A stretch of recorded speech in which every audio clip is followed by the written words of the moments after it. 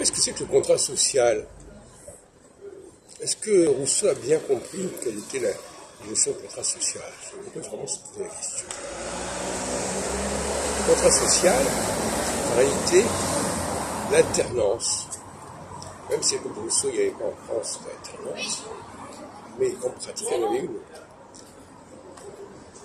Un temps pour la pluralité horizontale, un temps pour la pluralité verticale, temps pour accepter la diversité horizontale, un temps pour accepter la diversité verticale.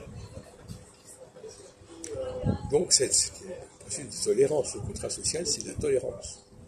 Tolérance de l'alternance, foi dans l'alternance, à condition de comprendre en quoi cette alternance est nécessaire, structurellement nécessaire.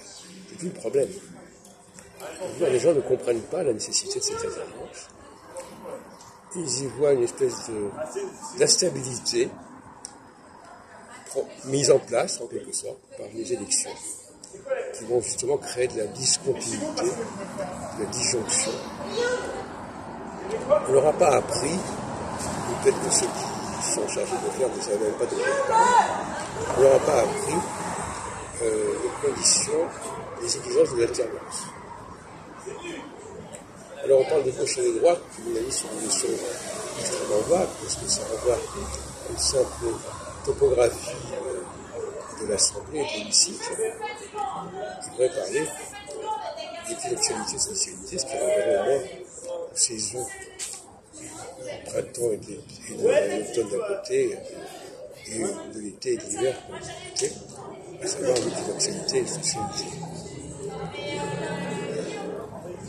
Ça, là, je peux apporter sa contribution à la vie politique, à condition, bien entendu, de connecter ces périodes-là à, un calendrier